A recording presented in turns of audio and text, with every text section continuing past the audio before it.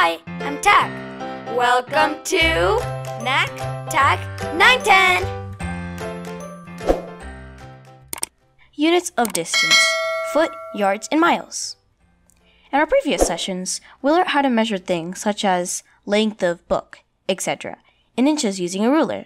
But what if we need to measure things much longer than an inch? Let's say we need to measure the height of a door. We can still measure in inches, but we end up with a big measurement. So, we can use the next bigger unit called a foot. A foot is same as 12 inches.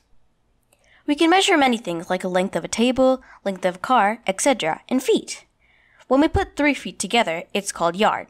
What if you want to measure things much longer than feet length, such as a football field? That's where yards come in use to measure such distances. A yard is abbreviated as YD. How many inches would you think will make one yard? I know! One yard is three feet. We already knew one foot is 12 inches. Then three feet would be 3 times 12. 3 times 12 is 36. So it's 36 inches. So, 3 feet is equivalent to 36 inches, which means 1 yard is same as 36 inches. Yep, that's right. 1 yard equals 36 inches. A meter is bigger than a yard. Approximately meter is 1.1 yards. To be precise, a meter is equal to 1.094 yards. So, we can measure some big distances using feet and yards. But what if we need to measure something much longer distances than a feet or yard, such as distance between two places?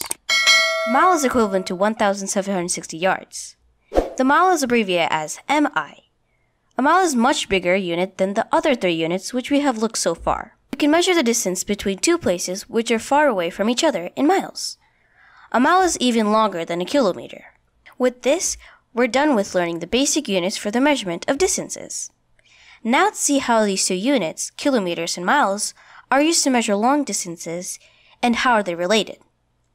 It takes approximately 1.6 kilometers to equal 1 mile. The exact value is 1 mile is equal to 1.609 kilometers. Using this relation, can you tell me approximately how many kilometers would be 5 miles?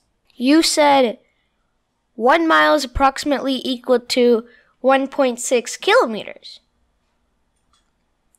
So 5 miles would be 5 times 1.6, which is 8 kilometers. So 5 miles equals 8 kilometers. Yep, that's right. Math is easy and fun when you understand your concepts with a little bit of practice and loads of fun. Like and subscribe to our channel. Don't forget to click the notification bell for more fun videos.